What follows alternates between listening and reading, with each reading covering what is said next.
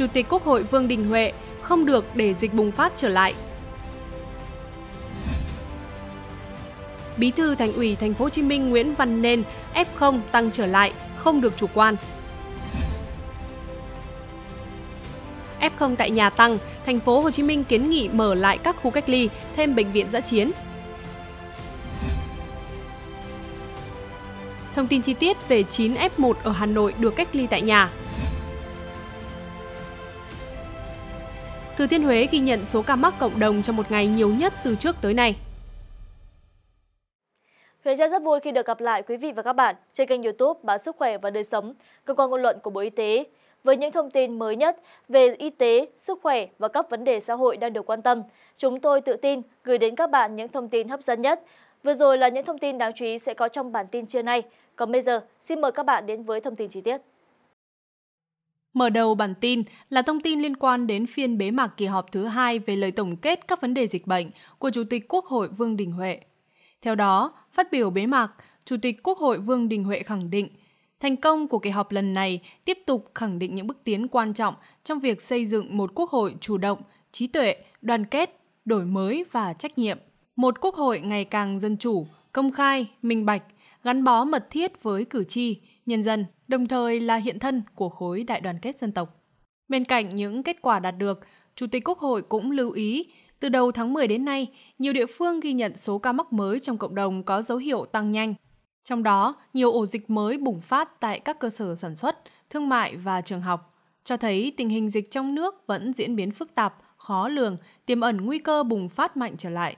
Quốc hội yêu cầu tiếp tục thực hiện nghiêm các chủ trương, chỉ đạo của Trung ương, các nghị quyết của Quốc hội và điều hành của chính phủ, tuyệt đối không được lơ là chủ quan, không được để dịch bùng phát trở lại. Theo nghị quyết về hoạt động chất vấn được Quốc hội thông qua đầu năm 2022, phấn đấu hoàn thành tỷ lệ tiêm chủng liều vaccine bao phủ dân số trên 18 tuổi đạt 100%. Ưu tiên tiêm sớm cho người trên 50 tuổi, trừ đối tượng thuộc diện chống chỉ định tiêm vaccine. Trong lĩnh vực giáo dục và đào tạo, nghị quyết yêu cầu đầu năm 2022 tiến hành giả soát, đánh giá hiệu quả học tập trực tuyến, học tập qua truyền hình của các nhóm đối tượng học sinh, sinh viên, nhất là học sinh tiểu học, có giải pháp đảm bảo chất lượng, bổ sung kiến thức cho học sinh khi trở lại trường học. Trong năm 2022, sớm xem xét cấp phép sản xuất cho vaccine trong nước và đưa vào sử dụng. Bên cạnh đó, Quốc hội cũng yêu cầu có phương án khắc phục tình trạng người lao động di chuyển tự phát khỏi các tỉnh, thành phố lớn, có giải pháp giữ chân và thu hút lao động quay trở lại nơi làm việc.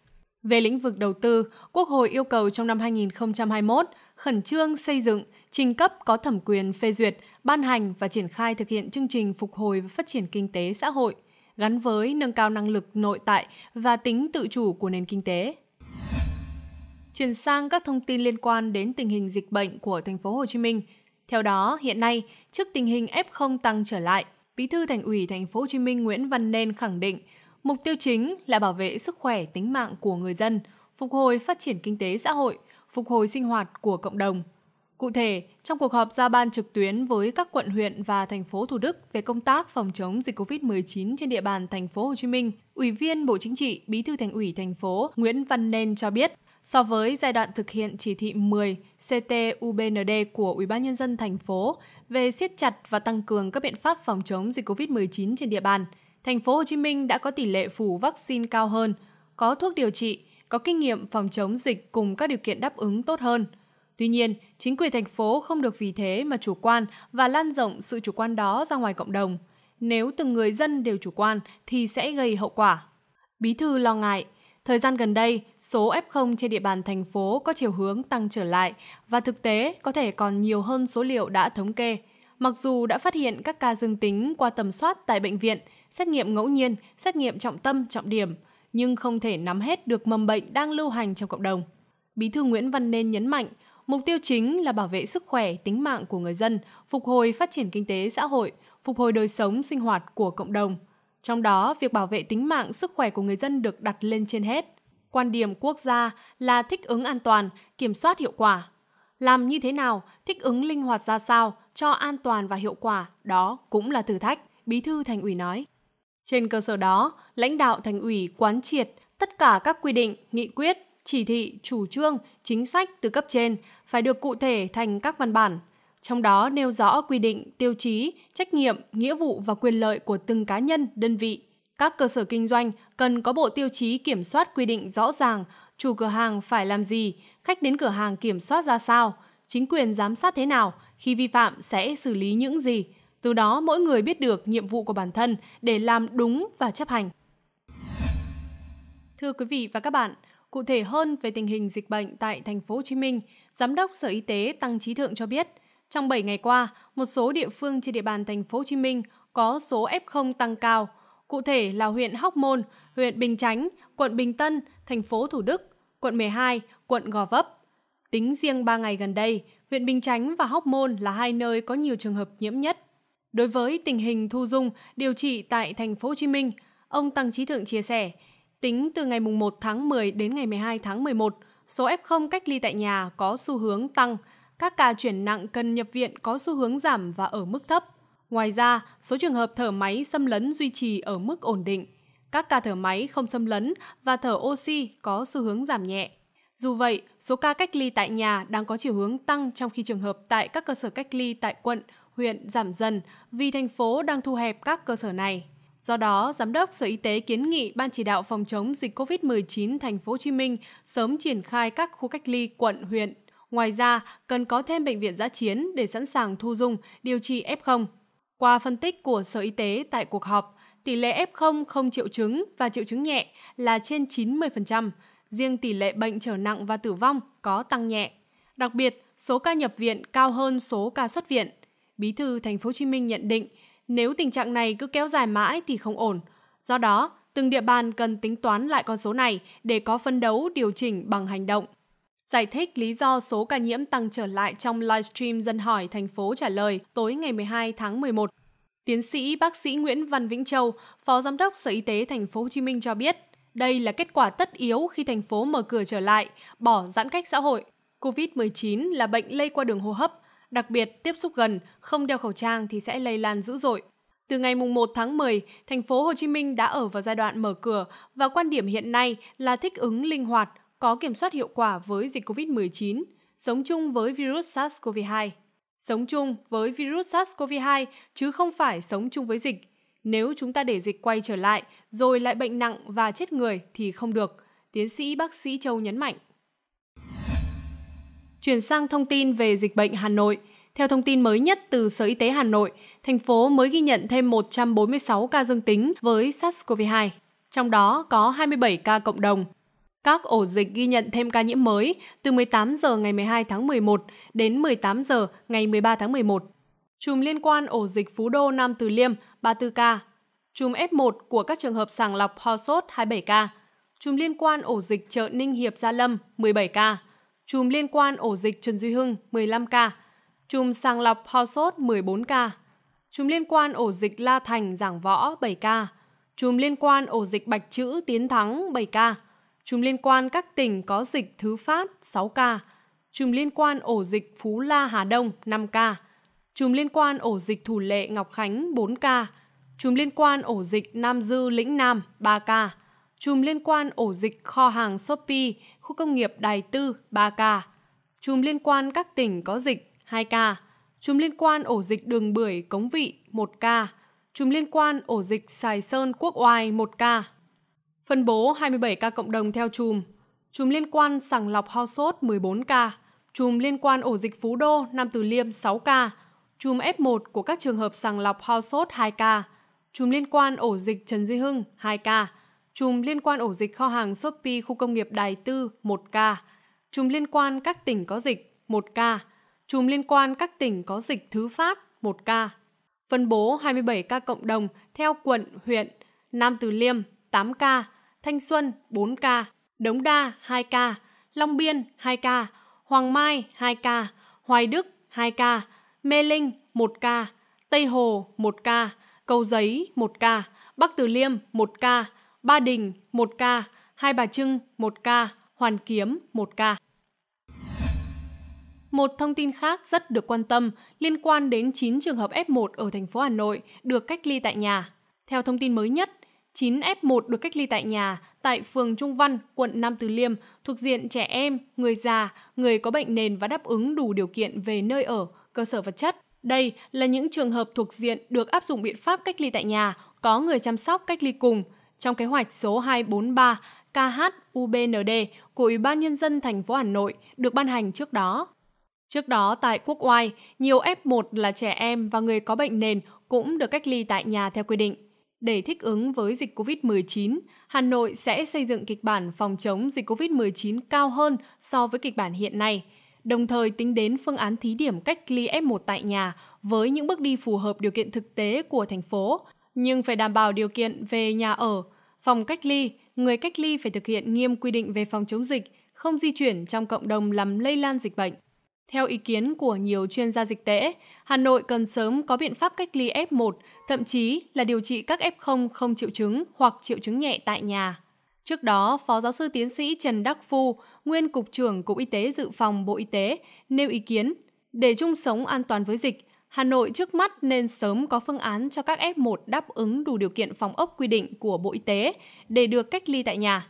Việc này sẽ giúp tránh quá tải cho các khu cách ly, tránh hiện tượng lây nhiễm chéo trong các khu cách ly, cùng với đó giảm thiểu ảnh hưởng về cuộc sống và kinh tế của người thuộc diện cách ly.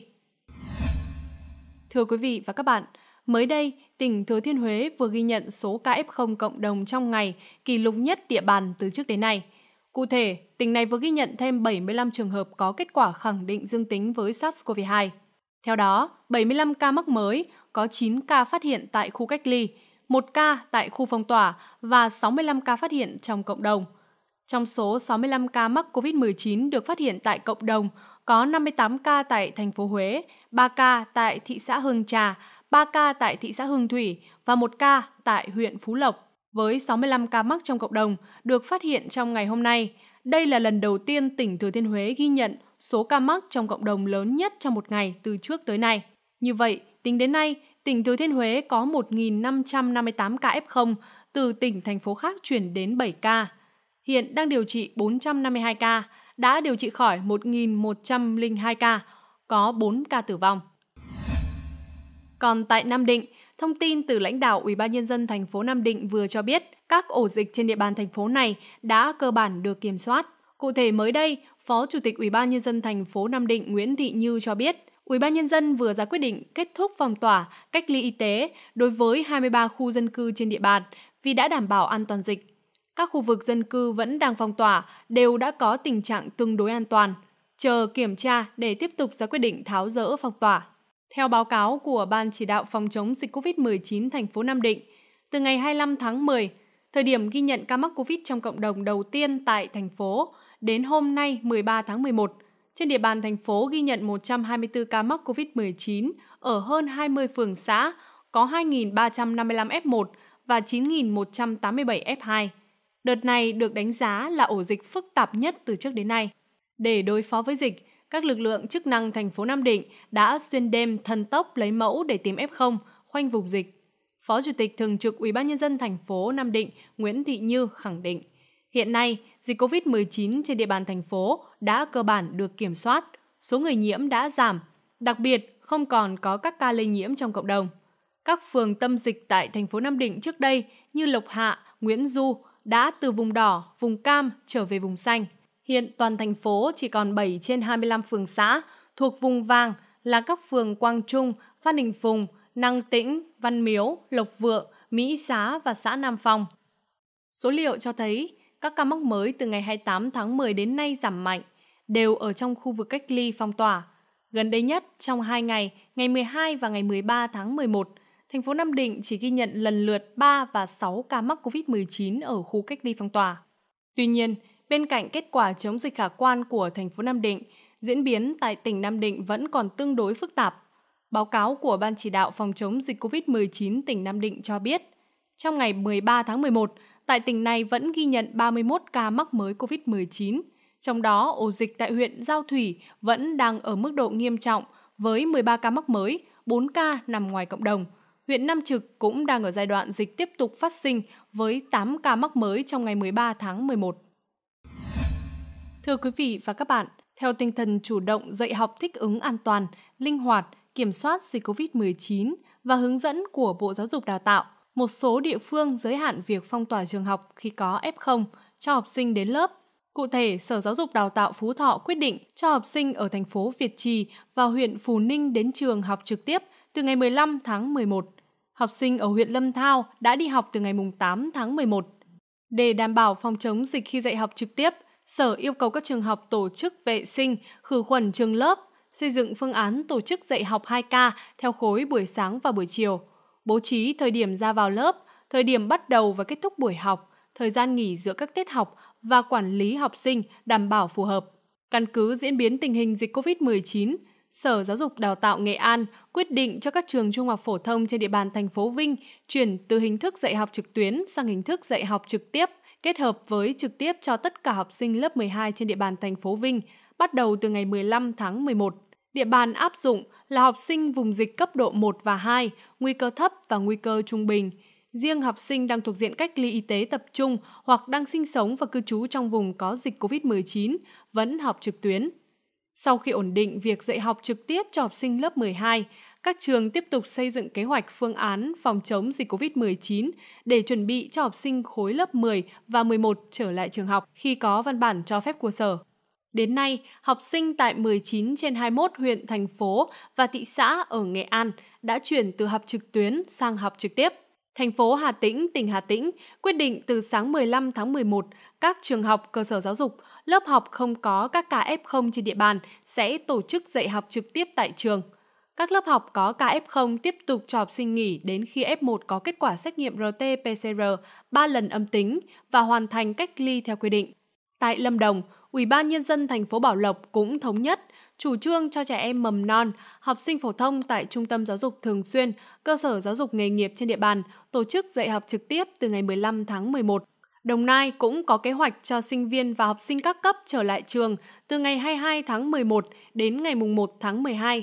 Mỗi huyện, thành phố chọn từ 1 đến 4 cơ sở giáo dục, tổ chức thí điểm cho học sinh đi học trở lại địa phương được xác định ở cấp độ dịch 1 và 2 sẽ tổ chức cho trẻ mẫu giáo đi học trước.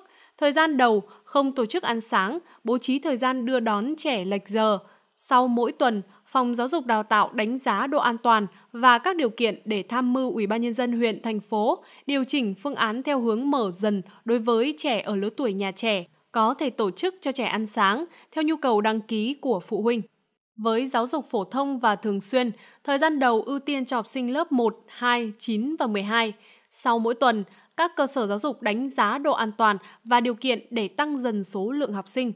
Trong khi đó, một số địa phương vì tình hình dịch diễn biến theo chiều hướng phức tạp hơn đã quyết định mở rộng địa bàn cho học sinh ngừng đến trường. Theo thông tin Sở Giáo dục Đào tạo thành phố Hải Phòng, tính đến cuối giờ chiều ngày 11 tháng 11, Địa bàn thành phố có 1.022 cán bộ giáo viên, nhân viên thuộc diện F1, F2. Trong đó, diện F1 có 73 người, diện F2 là 949 người. Số học sinh thuộc diện F0, F1, F2 có 10.350 em, trong đó 21 F0, 645 em F1. Toàn thành phố có 82 trường chuyển sang dạy học trực tuyến, trong đó 37 trường tiểu học, 26 trường trung học cơ sở và 19 trường trung học phổ thông. Để đảm bảo tăng cường phòng chống dịch trong trường học, từ ngày 13 tháng 11, học sinh trên địa bàn thành phố Huế, Thừa Thiên Huế dừng đến trường và chuyển sang học trực tuyến cho đến khi có thông báo mới. Hiện nhiều trường tổ chức kiểm tra giữa kỳ bằng hình thức trực tuyến. Đà Nẵng dự kiến cho học sinh trên địa bàn đến trường trở lại vào ngày 15 tháng 11.